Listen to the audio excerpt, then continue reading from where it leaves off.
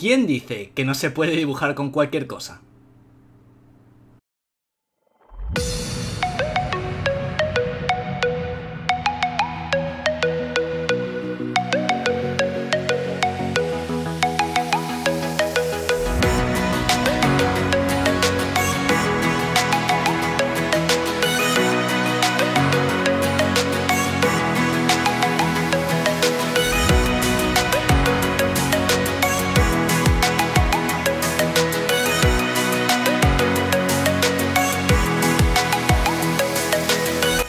Creo que es lo más asqueroso que he hecho nunca.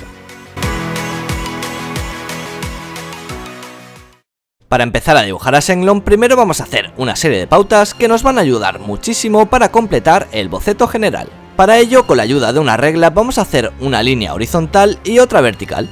Simplemente con eso ya podremos comenzar a bocetear.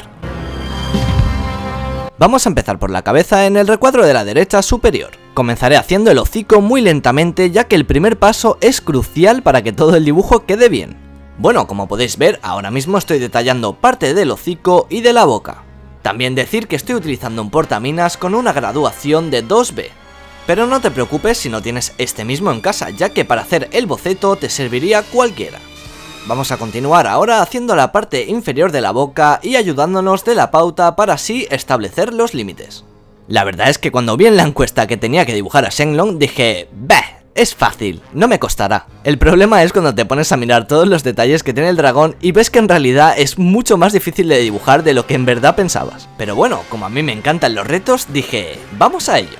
Por cierto, recordad que de igual manera en las tarjetas de vídeo dejaré una encuesta para que podáis escoger el personaje de aquí a unas semanas. Bueno, una vez que tenemos la mandíbula inferior y superior, ahora vamos a hacer también la lengua. Ahora mismo la verdad es que no se parece demasiado a Shenlong, pero veréis que va tomando forma poquito a poco. Bueno, una vez con la forma de la boca ya formada, podemos comenzar a hacer toda la dentadura, tanto en la parte superior como en la inferior. Algunos de estos dientes los haremos ligeramente más grandes. Continuamos con el ojo, parte de la cabeza, también sacaremos algún que otro bigote y luego continuaremos dándole forma a la parte trasera de la cabeza donde sale un cuerno.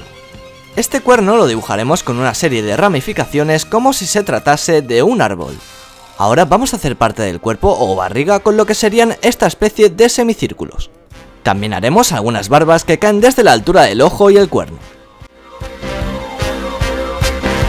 Por aquí encima, justo encima del ojo, vamos a dibujarle también una garra. Continuamos haciendo el otro bigote que como veis sobrepasa por encima de la garra que acabamos de dibujar. Ahora vamos a continuar haciendo el resto del cuerpo haciendo la técnica de los semicírculos.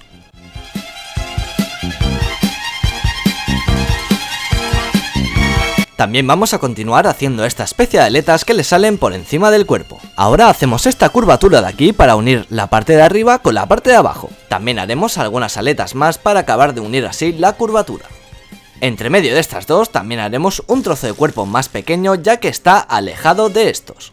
Recordad que para dar la sensación de cercanía lo haremos más grande y para dar la sensación de lejanía lo haremos más pequeño. Continuamos con otra de las partes del cuerpo que como veis va a estar bastante curva. Con mucho cuidado iremos marcando dónde van las aletas y dónde van los semicírculos, etc. Siempre merece la pena hacer al principio un boceto muy simple y luego ir añadiendo los detallitos poco a poco. De esta manera primero podemos establecer las proporciones mucho más fácil y luego también por ende será mucho más fácil añadir los detallitos.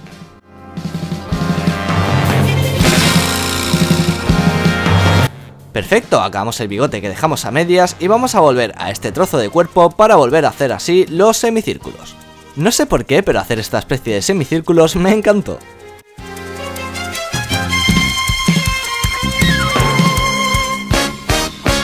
Genial, vamos a seguir haciendo otro trozo de cuerpo un pelín más grueso y curvo.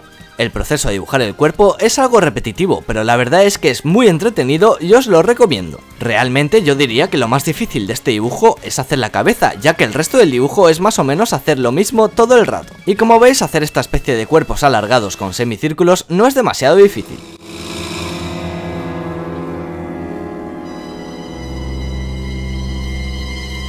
Continuamos detallando y detallando y también por aquí abajo vamos a hacer esta garra. También haremos otro trocito de cuerpo un poco más pequeño ya que queremos dar la sensación de que está un poquito más lejos. Ahora como veis que ya tengo el dibujo prácticamente terminado, lo que voy a hacer es marcar los últimos detalles del dibujo para así darlo como finalizado.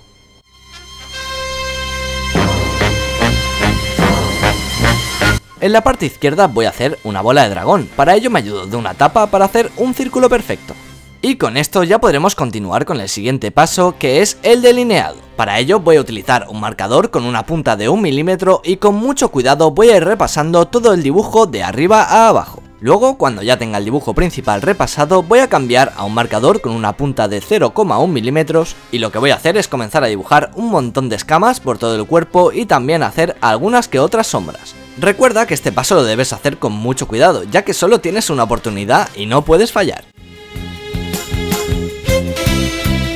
Luego, cuando ya lo tengas todo repasado, simplemente déjalo secar bien como un par de minutos, bórralo todo, retira los residuos de goma y ya estaremos listos para colorear. Para colorear voy a utilizar marcadores a base de alcohol y voy a comenzar utilizando este verde oscuro para dar las sombras más intensas. Recuerda que vas a tener toda la lista de materiales que utilizo durante el vídeo debajo la descripción para que no te pierdas un detalle. En este caso estoy utilizando marcadores de la marca Fine Color, Copic y ProMarker.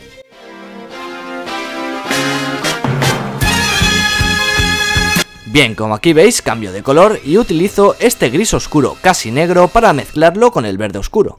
Normalmente siempre os diría que vayáis despacio y con buena letra, pero en este caso no va a ser así. Esto es debido a que estamos utilizando marcadores a base de alcohol y si queremos que se mezclen bien vamos a necesitar la tinta bien fresca. Esto es debido a que cuando las tintas están húmedas se van a mezclar mucho mejor que si lo estuvieran secas. Que esto no quiere decir que no se vayan a mezclar si los colores ya están secos, pero sí es verdad que se van a mezclar mucho mejor si la tinta está húmeda.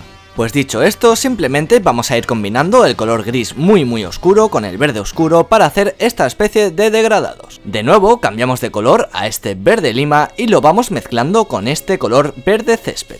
Como veis, también actuamos de manera rápida para mezclar los colores de la manera más óptima posible. En este caso, para lo que sería el cuerpo de color verde, voy a utilizar hasta 4 tonos distintos para ir dando sombreados. Como más tonos diferentes añadas, obviamente mejor quedará el efecto. Bien, pues ahora con mucho cuidado vamos a ir haciendo estos bonitos degradados, intentando que nos queden lo más difuminados posibles. Recuerdo que cuando veía la serie de pequeño y salía Shenlong me emocionaba muchísimo porque siempre estaba con la incertidumbre de no saber qué deseo iban a pedir. De hecho me gustaría preguntaros algo, si vosotros pudierais pedir un deseo, cualquiera, lo que sea, ¿qué pediríais? Dejádmelo en los comentarios ya que me gustará mucho saber qué es lo que más deseáis en el mundo. Ah, y lo de pedir deseos infinitos no lo pongáis, eh, que ya os veo venir. Yo ahora mismo creo que me conformaría con una hamburguesa de tres pisos.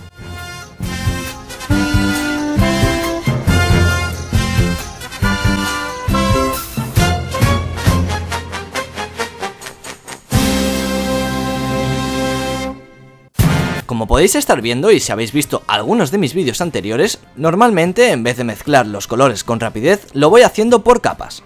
Es decir, primero aplico un color por todas las partes que pertenezcan, por ejemplo en este caso sería el verde, y una vez el color se ha secado ya aplico el siguiente color. Podréis notar el cambio de hacerlo con rapidez y con la tinta húmeda a hacerlo con la tinta seca. La verdad es que para este dibujo me animé a probarlo así y la verdad es que quedó bastante bien. La razón de por qué normalmente no lo hago así es porque en formato tutorial quizás es un poquito más difícil de entender. No sé si os gustaría que a partir de ahora mezclase los colores de esta manera o del contrario que siga como siempre lo he hecho.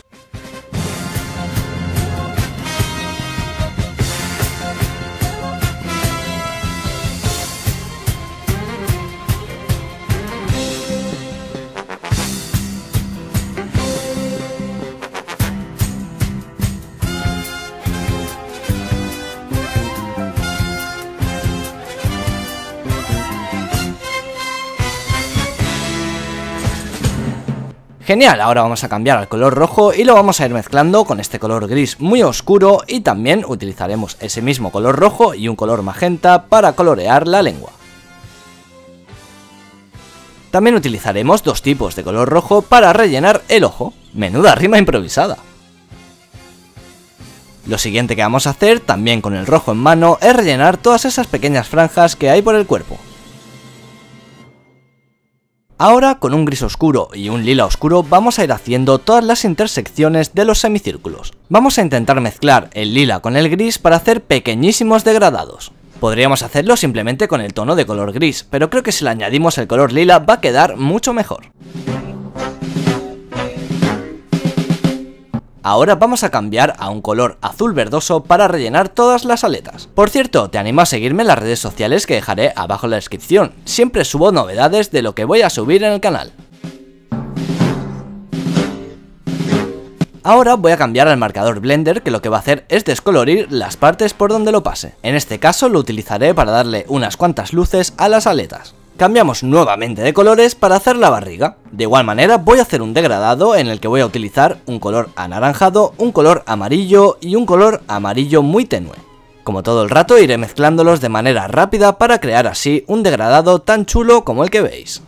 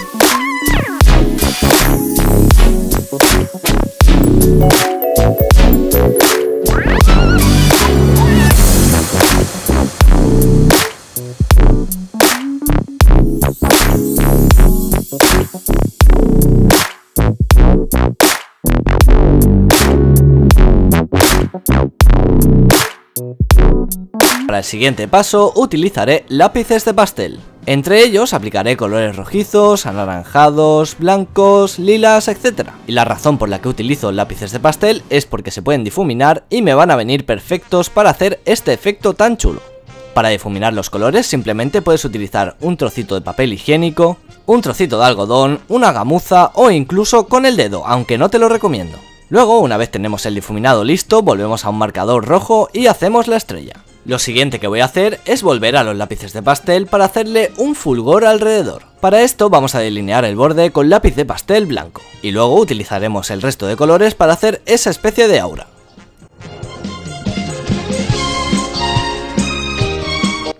Muy bien, una vez lo tengamos difuminado, queda el toque final. Para ello voy a utilizar pintura acrílica blanca y con un cepillo de dientes que ya esté viejo, vamos a ir salpicando estas pequeñas gotitas para simular así unas cuantas estrellas. Y después de esto ya lo tendríamos terminado. Espero que te haya encantado muchísimo este dibujo y sobre todo que te haya servido de ayuda. Ya sabes que me puedes animar a seguir subiendo este tipo de vídeos dejando un buen like o suscribiéndote. Un saludo y hasta la próxima.